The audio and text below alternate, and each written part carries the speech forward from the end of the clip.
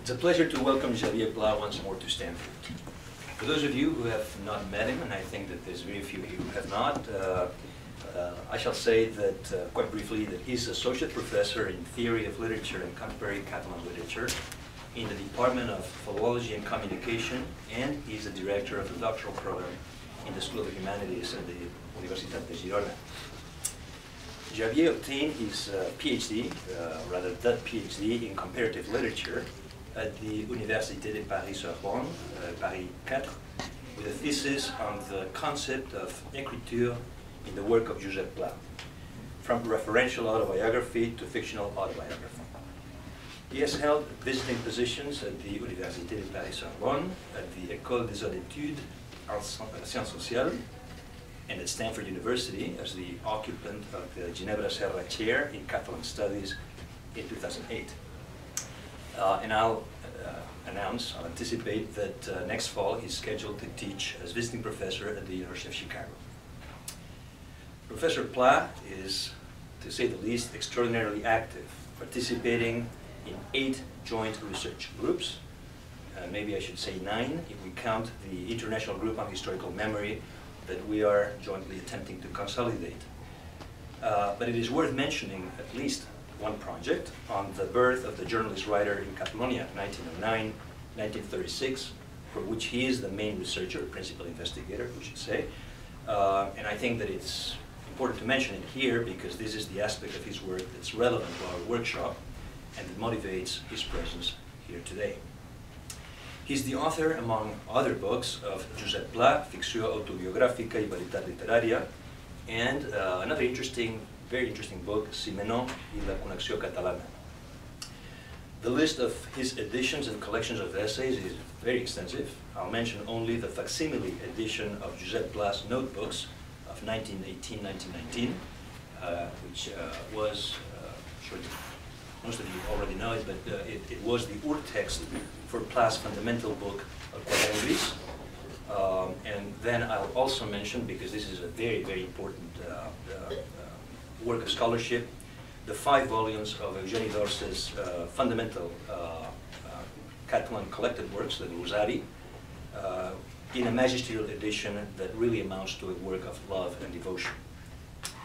Among his many awards, I would like to mention especially the Serra d'Or Prize for Literary Criticism, which is Catalonia's most prestigious award in this cultural category. Xavier Pla is, in my view, the foremost specialist in contemporary Catalan literature, period. Assiduously tapping previously neglected archival materials, he has enriched the basis on which criticism can produce broader and more accurate interpretations of the key Catalan authors and texts. The title of his talk today is Barcelona 1925 at the Edge of Genres, toward the definition of literary journalism. Welcome, Xavier. Thank you. Thank you very much.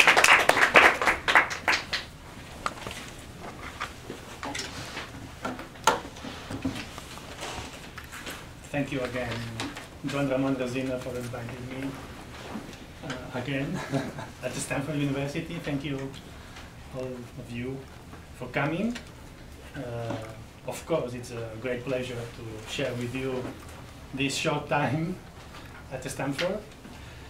And especially it's uh, a pleasure to share uh, this uh, uh seminar, this long and very, very interesting seminar on journalism and, and literature. I'll try to, to, to talk a little bit about literary journalism and my, well, my intention is to, to to answer what's literary journalism. Uh, because you know that the, there is no entry for the term in the main literary glossaries or dictionaries. And maybe we can say that ne nearly every book on literary journalism over the last 25 years at least has begun with an introduction that defines literary journalism. And all these books spend entire chapters to nail down what they mean by literary journalism and all seem to agree uh, with the critic Ben Yagoda, who says that literary journalism is profoundly fuzzy term in his book, The Art of Fact, a historical anthology of literary journalism. So I'm afraid uh, I will not be different. and, if only for the reason that international literary journalism still needs to establish its boundaries. So my first uh, aim is to, to, to, to, to reflect about the definition of literary journalism. Because one can put the emphasis uh, on the adjective implying that literary journalism is journalism about literature. Another one puts the emphasis on the noun. Literary journalism is journalism that uses the techniques of fiction, a kind of true life stories that read like a novel or short story. But literary journalists mm, put themselves in the, in the history. Uh, Norman Mailer in The Armies of the, Night, of the Night, or George Orwell in Homage to Catalonia.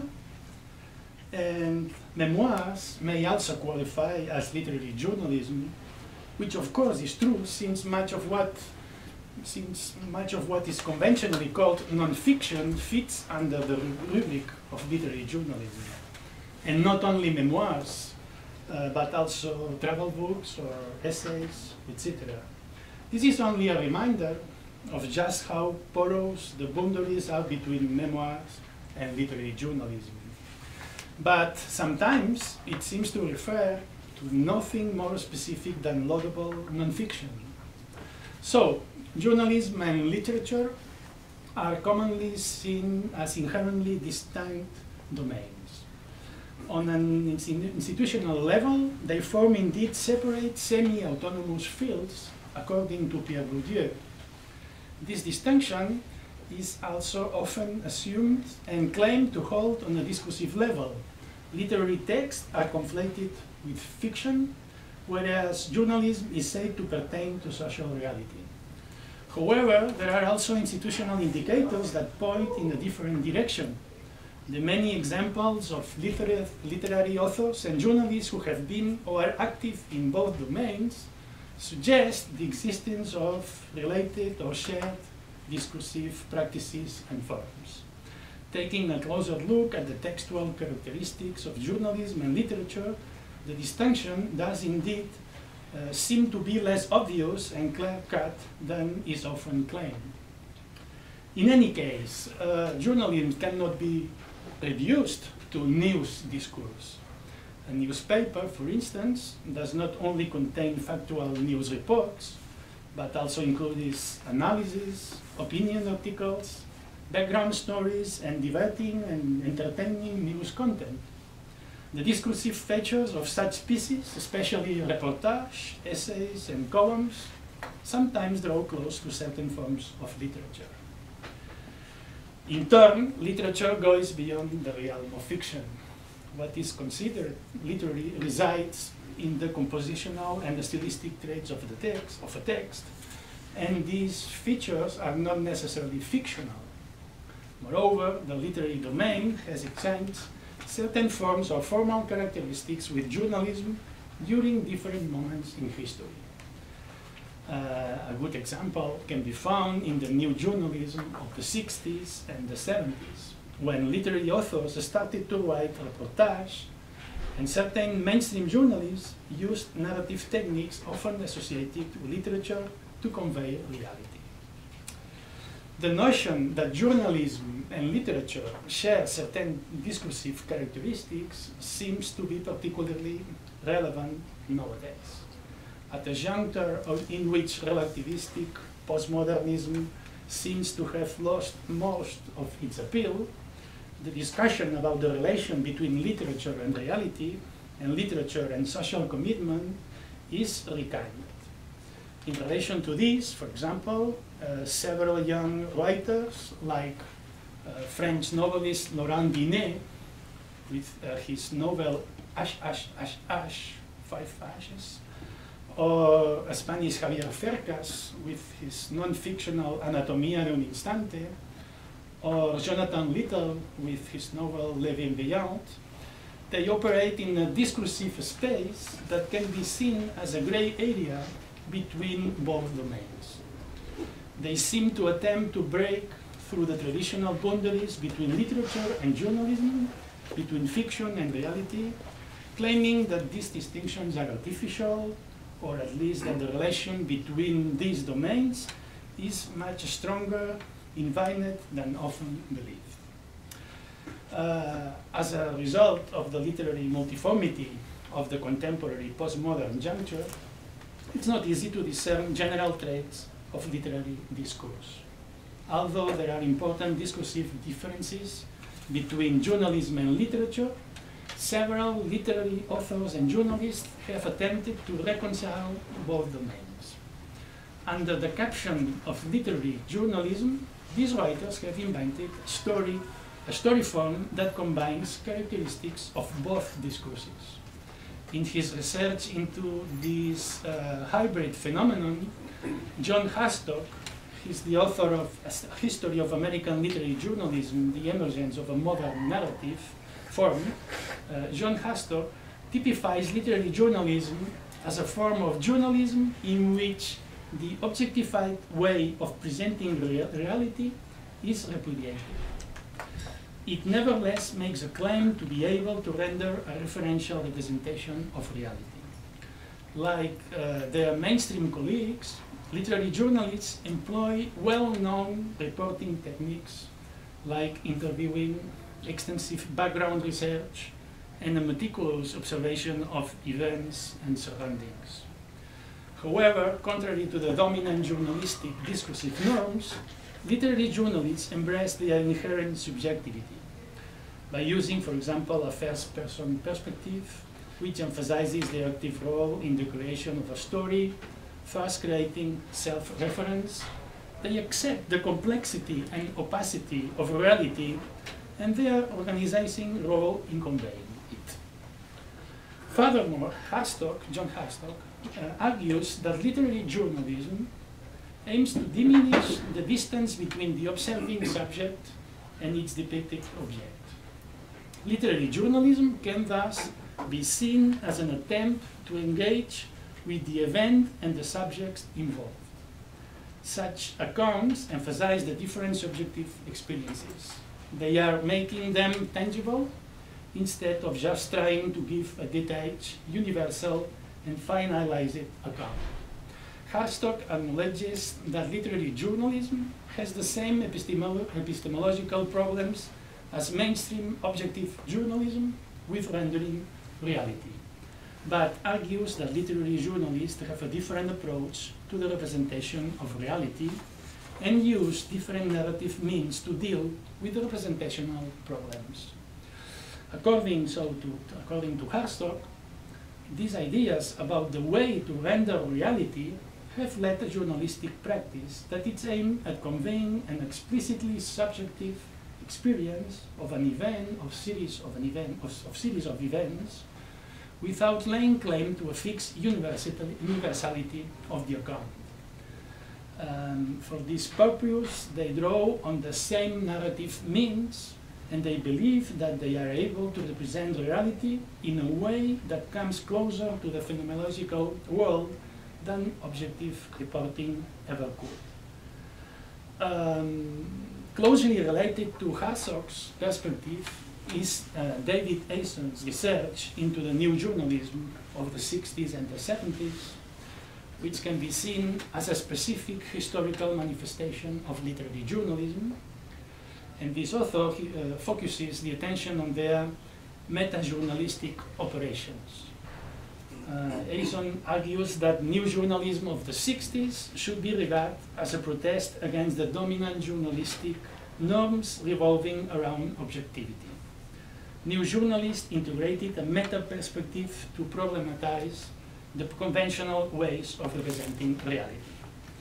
By pointing the, to the conventionality of the journalistic forms in which reality is rendered, new journalism shows the problems with regard to subjectivity, the complexity and opacity of reality, and the disguised ideological position of journalists, which Hartsock also emphasizes. Eason mentions four, four strategies by which new journalism achieves this meta-perspective. Firstly, by treating events as a representative of archetypical, archetypical uh, experiences. Secondly, by emphasizing the various ideological positions of which reality consists. Thirdly, by underlining the active role of the reporter in the construction of reality. And finally, by pointing to its own discourse as a specific mode for making sense of reality. Um, if, you, if we relate these observations with regard to literary journalism to both the journalistic and literary discourse, it seems that literary journalism is closest to journalism when it comes to its routines of gathering information for an article. However, the process of rendering this information comes closer to literature. Much like literature, literary journalism tries to convey reality in all its ambiguity, and in that process draws attention to its own way of representing reality. Well, without delving further, further into these complex discussions, I agree with the premise that what constitutes a journalistic or literary text is socially determined and therefore historically variable. However, this does not mean that it's not possible to distinguish between both domains altogether. Within a certain period and context, certain discursive norms circulate in a field. These often implicit norms determine, determine whether people regard a text as belonging to either the literary or the journalistic field. Which texts are accepted in a certain field is the result of a social process bound to a specific cultural, uh, historical context. Thus, the norms that are used are uh, in no way universal, in which a text, as the result of a combination of certain narrative means, is granted literary merit or journalistic authority. For a more detailed expose about how literature of journalism is socially produced, see another again for literature, Pierre Bourdieu, the field of cultural uh, production. Um, so I'm not different. Towards a uh, uh, definition of literary journalism plain two words, not, not only a, one, a unique definition. Um, I recommend you a, a, a very interesting book literary journalism across the globe, journalistic traditions and transnational influences, uh, edited, edited by John S. Bak. And according to, to John Bak, literary journalism has a long and complex international history, one built on a combination of journalistic traditions and transnational influences. What happens, for instance, when what constitutes literature and journalism varies from one nation to the next, or when what passes for truth in the world press belies a universal standing, understanding. I think Anglo-American literary journalism makes clear distinctions among creative non-fiction, literary reportage, feature writing, etc in, in Spain in Catalonia, literary journalism does not make such precise distinctions for the simple reason that many nations have not enjoyed a journalistic heritage that contains side-by-side -side examples of literary reportage, narrative journalism, creative nonfiction, or new journalism. Scholars have struggled with the, this problem for decades and have still not reached a consensus and still today, for example, in Barcelona, journalism and literature are too often seen as two separate spheres, one low and another high. But we know how these two spheres, in fact, constantly overlap.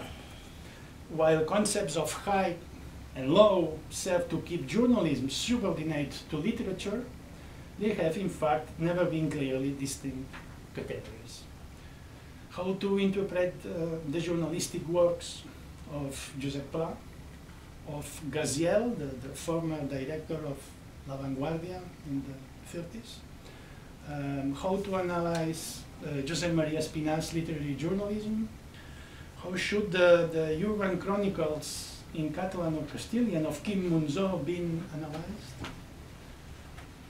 What interests me to me is to reflect about specific Uh, manifestation, historical manifestation of literary journalism in the interwar period in Barcelona. Because according to John S. Bak, at the end of the 19th century, several countries were developing journalistic traditions similar to what we identify today as literary journalism or literary reportage. Throughout most of the 20th century, however, and in particular after World War II, that tradition was overshadowed and even marginalized by the general perception among democratic states that journalism ought to be either objective, as in the American tradition, or polemical, as in the European one. Nonetheless, literary journalism would survive and at times even thrive. If we consider the newspapers as witnesses of the modern civilization, we will agree with the fact that literary journalism was born in the 20th century, closely related with big cities and historical events. In the example of Catalan culture, beyond the historical and political interpretation of the events, I think the, the Setmana Tràgica, the tragic week uh, in 1909 uh, in Barcelona, was the conflict that generated for the first time a debate in the press of the period in which the figure of the poet Joan Maragall stood out. Uh, given up his elitist position of social distance, Maragall was implied adopting a critical and combative position from the pages of the newspapers. Since then, the new values of the writing from Barcelona, as Eugeni d'Ors, or especially Eugeni d'Ors, used the literary journalism to expose their own ideologies. It was a literary evolution that conditioned the writing, of course, not only in Barcelona, in Madrid or in Paris, uh, in all of the big capitals, and with a special emphasis, I think, in Germany. Uh, therefore, the outcome of the World War I also had a big impact on the Catalan culture. Uh, the new relationships uh, between writers and political power, the growth of extreme ideologies, the burden of years of war and suffering in the heart of Europe, the new needs of the readers of the press and literature did not leave indifferent main actors of the Catalan literary system. Um, the decline of the of hegemony of the, the noucentista period and the dictatorship of Primo de Rivera from 1923 overlapped and agreed on a period of great richness and complexity in which Catalan culture, in needs of modernization, renovation, and visibility, broadcast, broadcast uh, signs of an enviable energy and ability to redefine itself equally commendable. The dissolution of the Mancomunitat de Catalunya, the, regional government uh, at that time, and the prohibition of the use of the Catalan language in some areas of the public, the public sphere had resulted in a concentration of involuntary literary initiatives, publishing and cultural patronage that allow finally Catalan culture accessible, better or worse, to modernization. Coinciding with the World War I, new voices and also new jobs appear in whole Europe the figure of the war correspondent, for example. Some legendary figures of the Catalan journalism, as Gaziel, uh, Claudi Ametlla, Eugeni Xammar, acquire and develop their skills in the newspapers' offices and in the war front trenches. Thus, the literary journalism has been uh, real school of style and reality observation for many other authors especially for this real generation of journalists, writers, which marked the interwar period, as, of course, Josep Pla, Josep Maria de Sagarra, or Joan Carcells. It's intended to widely reflect on the characterization of the literary discourse on newspapers and its relationship with other discourses in the context of literary genre intersection, which oscillated between testimony and fiction, and which, above all, is open to discuss about frontiers healing and literary genre hybridation. No wonder, therefore, that discussions on the professionalization of the writers, the need for literary magazines and an efficient network of publishers, creating a quality and popular Catalan press, while, among others, a crucial focus of the literary life of the 20s and 30s. Although studies of Catalan literature on these years have not only increased in quality and quantity, it's equally true that the predominant feeling is that there is still much work to do about important aspects of the literary society of the time, such as the effervescent world of publishing initiatives in the 20s, or the very complex field of the periodical press of the late 20s, and above all, of the 30s, bring a depth necessary to understand fully followed two generations of writers who articulate the basis of 20th century Catalan literature and, and culture. Um, in any case, um, for a number of very complex reasons that still need to be contextualized and thought deeply, uh, Catalan literature, like other literatures, entered into the 20s in a general crisis, in a crisis of fiction, does not seem to be limited exclusively to the novel, but also extended to all forms of literature. Because of this discomfort too slowly ended up winning, winning a large number of writers, including novelists, writing prose fiction, had to confront a crisis of models, a period of transition and transformation of their narrative techniques and their editorial processes.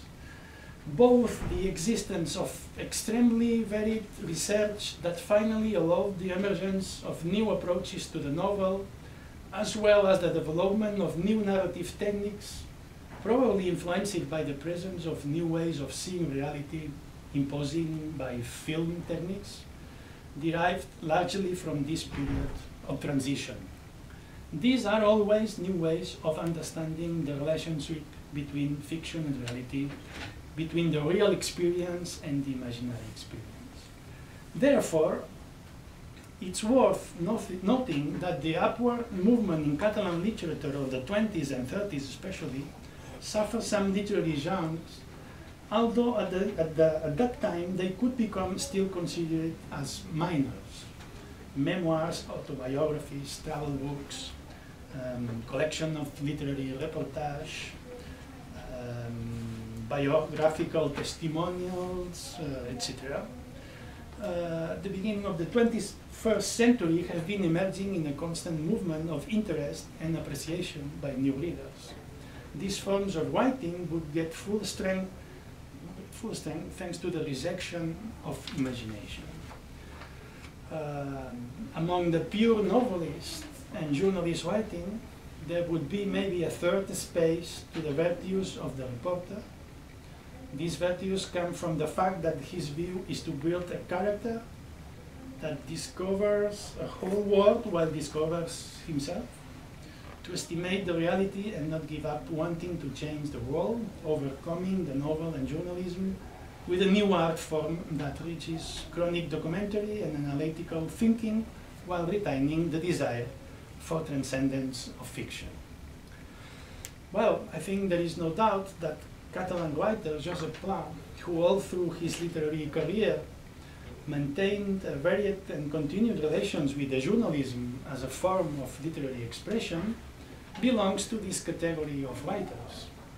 Josep Pla's literature has to be considered in the context of a tradition of personal journalism, which emerged out of the 19th century Romantic movement and its focus on the contemplation of the self.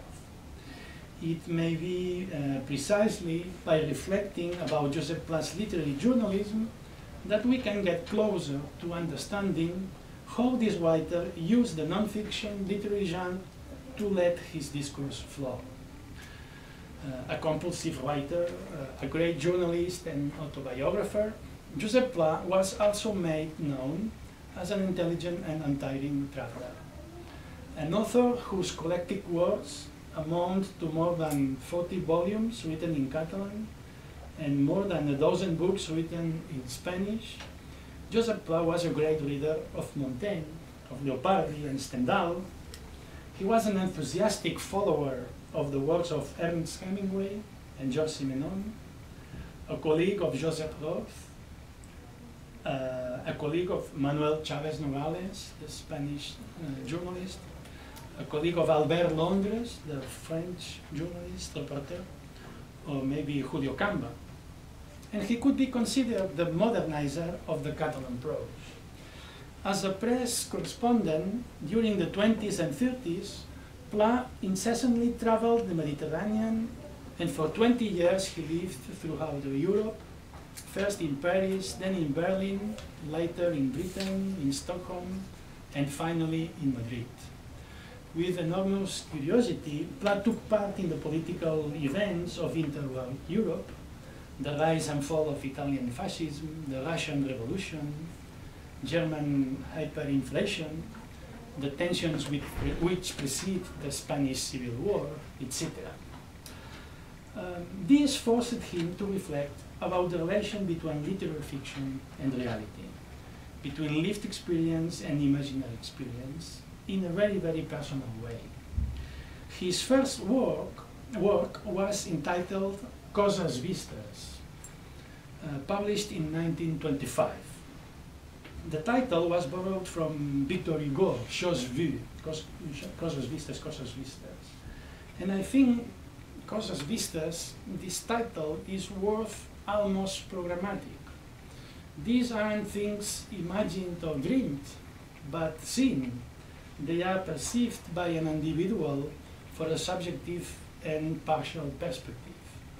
Cosas Vistas, the, the, the book no longer exists, uh, it's a volume that included a long self-portrait, fragmentary descriptions of landscapes, and reflections on the influence of the winds, travel chronicles, and autobiographical short stories. The book was a success. 5,000 copies sold in three editions in 1925. And the critics fervently celebrated the emergence of a new narrative voice in Catalan, Catalan language, who claimed the Laurence Sterne, Stendhal, Leopardi, and boasted of having been the first to have read Proust in Barcelona.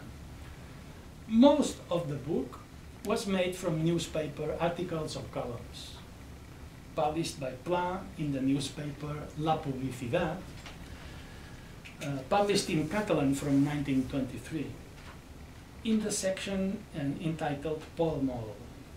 Paradoxically, Pla shared many of the Academy's prejudices against journalism. Throughout his career, he constantly downgraded his own writing as mere journalism or pamphleteering and look up to literature which he thought of as a higher form. So, what is, I think it's very, very interesting is that Josep Pla is a writer who has fun undermining the most rigid rules of literary history in order to elaborate a literary work which does not belong to any literary genre, but which integrates and surpasses all of them at the same time. Pla showed how the personal does not necessarily obliterate the political. But as a political journalist in Madrid in the 30s, Pla did not cover the normal bit of a political columnist. Uh, elections or the personal squabbles of politicians, ministerial changes, etc. His columns were intensely political, when paradoxically they appear to have nothing to do with politics. The I voice of the column was perfectly suited to his style, even though he felt typically ambivalent about his subjectivity. It seems like Pla constantly strives to efface his own personality. And to get closer to the truth, um, Pla always stated that he only intended to relate it, his life always hiding his identity as a writer and producing literature while pretending that he was not doing it at all. In fact, Pla writes both journalism and books with a kind of dissimulation, which always consists in a camouflaging, in camouflaging the formal procedures and linguistic artifices he uses. By making his reports those of an ordinary person rather those of a great man, he allowed his audience to put themselves in his, in his position without imagining the impossible. By offering us a character who is ordinary, he not only allows the reader to share the perceptions of the writer, he also disarms our suspicion of an ethos which is so good and so intelligent that our training tells us to mistrust it. Thank you.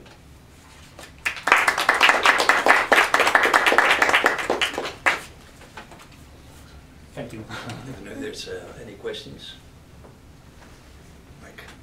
Uh, Well, thank you. I found it very interesting, stimulating, makes me reflect uh, particularly uh, on this whole tradition of literature and journalism. And when you were recounting the history a little bit of the influences on Pla, from Montaigne to Stendhal, Hmm. to Hugo and so on, I wonder, if does Mariano José de Larra figure in at all uh, in people that he, that were were influenced, that were, that he- whose influence he felt? Um, And if not, uh, uh, were there any or many Catalan writers who felt the influence of of Larra? Of Larra. Because there is a person who has a high degree of literary talent as well as a high degree of journalism. Yeah, yeah. a Powerful combination of the two. At the presentation level, it's absolute fiction, he invents stories in Castellano Viejo, what about usted mañana? But at the, the representational level, it's just the medium through um, Syrian social satire. So You've got everything in Larra, many of his best articles. I wondered, how has he felt or interpreted in modern or twentieth century Catalan literature? Thank, thank you for your uh, observation. Um, yeah, I, think, in fact, Pla and, and the other uh, uh, journalists of his generation, they, they were all uh, Francophiles, especially Francophiles. So the, the main influences come from, from, from France. But you are right,